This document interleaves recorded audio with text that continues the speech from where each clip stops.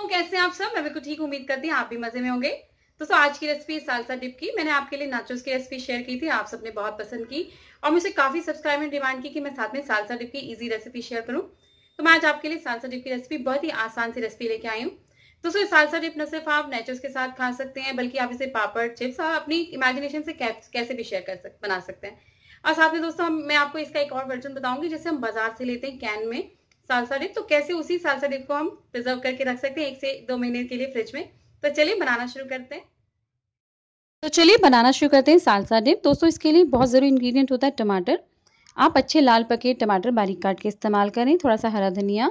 और हमें कैप्सिकम यानी शिमला मिर्च भी चाहिए होगी, इसे भी बारीक काट लें। बारीक कटे हुए अनियंस भी चाहिए होंगे। और साथ में दोस्तों, ये हरी मिर्च है। ये मोटी हरी मिर्चें ज़्यादा तीखी नहीं होती। सालसा डिप में यही ऐड करें। आप बारीक वाली ना ऐड करें। तो इन्हें मैंने काटने के बाद सिरके में भिगो रखा है। आप विनेगर कोई भी ले सकती हैं एप्पल साइडर या नॉर्मल विनेगर व्हाइट वाला।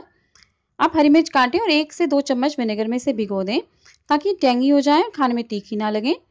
साथ में दोस्तों हमें चाहिएगा ऑरिगानो जो बहुत अच्छा फ्लेवर देता है एनहेंस करता है, थोड़े चिली फ्लेक्स थोड़ी बेजिल साथ में दोस्तों ऑलिव ऑयल अगर आप ऑलिव ऑयल नहीं ऐड करना चाहती तो आप कोई जो भी नॉर्मल कुकिंग ऑयल इस्तेमाल करती हैं ऐड करें।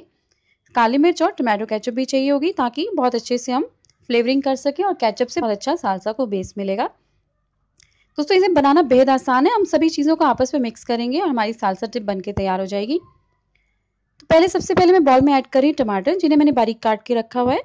आप अच्छे से बारीक काटें। जितनी अच्छे से सब्ज़ियाँ बारीक कटी होंगी, सालसा टिप उतनी अच्छी बनेगी।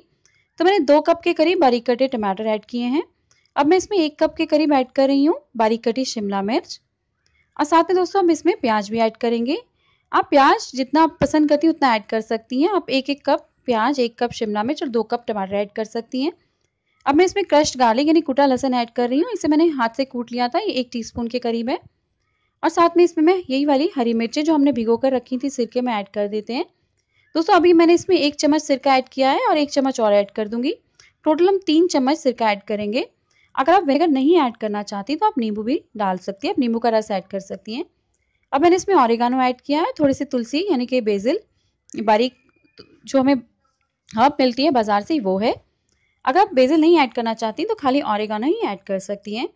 अब थोड़े से स्प्रिंकल करी मैं चिली फ्लेक्स और साथ में दोस्तों इसमें ऐड करेंगे ऑलिव ऑयल आप दो से तीन चम्मच ऑलिव ऑयल ऐड करें, इससे बहुत अच्छा फ्लेवर आता है, नहीं तो आप नॉर्मल कुकिंग ऑयल एक चम्मच ऐड कर सकती हैं। नमक हम कम ऐड करेंगे, क्योंकि मैं इसमें टमाटो केचप ऐड कर रही हूँ। टमाटो केचप में ऑलरेडी नमक होता है तो मैंने इसमें दो टेबल स्पून टमाटो केचप और एक टीस्पून नमक ऐड किया है। हरा धनिया बहुत अच्छा फ्लेवर देता है सालसा में आप ज़रूर ऐड करें। हरा धनिया मैंने आधा कप के करीब ऐड किया है और ये मोटा काट कर ऐड किया है। अब मैं सबसे लास्ट इंग्रेडिएंट ऐड कर रही हूँ ब्लैक पेपर का, जिससे बहुत अच्छी सीजनिंग हो जाएगी, खुशबू अच्छी आएगी। आप सभी चीज़ों को दो से तीन मिनट तक अच्छे से मिक्स करें ताकि सालसा डिप बहुत अच्छी से तैयार हो इन्हें आप अच्छे से मिक्स करेंगे, उतनी अच्छे फ्लेवर उभर कर आएँगे। तो देखिए, हमारी सालसा डिप बनकर तैयार है। इसे हम नेचोस के साथ तो सर्व करते हैं दोस्तों, इसे चिप्स के साथ या और भी डिप्स की तरह यूज़ कर सकते हैं। तो लीजिए दोस्तों बेहद आसान सी सालसा डिप बनकर तैयार होगी चंद मिनटों में। दोस्तों, ये सालसा डिप जो हमने बनाए इसे आप साथ के साथ कंज्यूम करें। इसे हम ज़्यादा दिन स्टोर नहीं कर सकते, कुछ घंटे ही स्टोर कर सकते हैं। लेकिन मैं आपको इसका दूसरा वर्जन भी बता रही हूँ, जैसे हम बाज़ार में लेते हैं कैन में मिलती है। वो सालसा डिप प्रिजर्व रहती है तो इसे हम कैसे बनाते हैं, ये भी बात कर लेते हैं।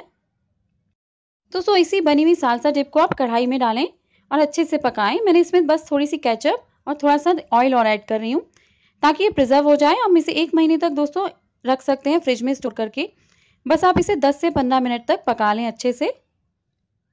तो देखिए, सालसा डिप बहुत अच्छे से कुक हो गई है। इसे अब हम गैस को बंद कर देते हैं। इसे मैं 15 मिनट से कुक कर रही थी। अब ये तैयार है। आप इसे जार में भरें और स्टोर कर सकती हैं। देखिए, हमने दो तरीके से सालसा डिप बनाई है। एक हमने बनाई नॉर्मल और दूसरी दोस्तों हमने उसे पका लिया ताकि उसे हम फ्रिज में स्टोर कर सकें, जैसे मार्केट में मिलती है। मुझे उम्मीद है दोस्तों, ये रेसिपी आपको अच्छी लगी होगी आप ज़रूर बनाएँगी। अगली बार नई रेसिपी के साथ मैं आपसे फिर मिलूँगी। तब तक अपना ख्याल रखें, सेहतमंद रहें।